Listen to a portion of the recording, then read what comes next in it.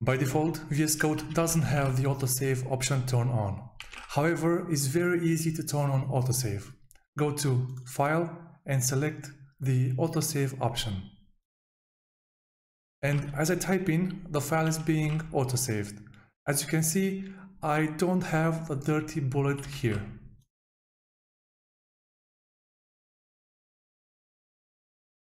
But if you want to have more control over autosave, VS Code provides additional settings.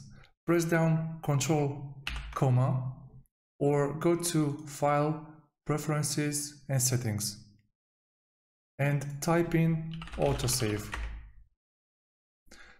And here we have three noticeable options.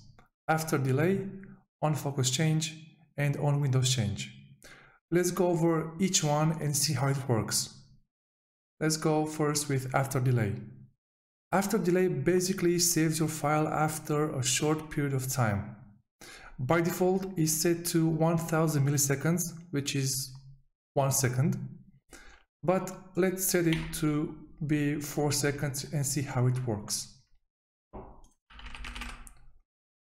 And as you can see, it will save the file in 4 seconds, exactly. Now let's see how on-focus change works.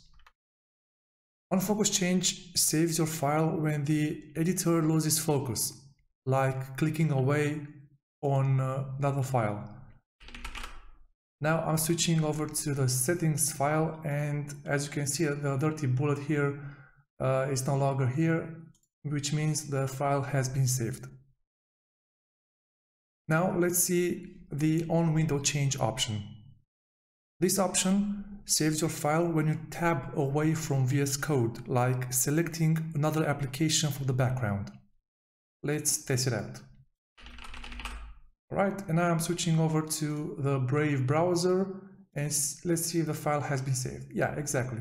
And the, our file has been saved. And that's all. I was Carol and I'll see you in the next one.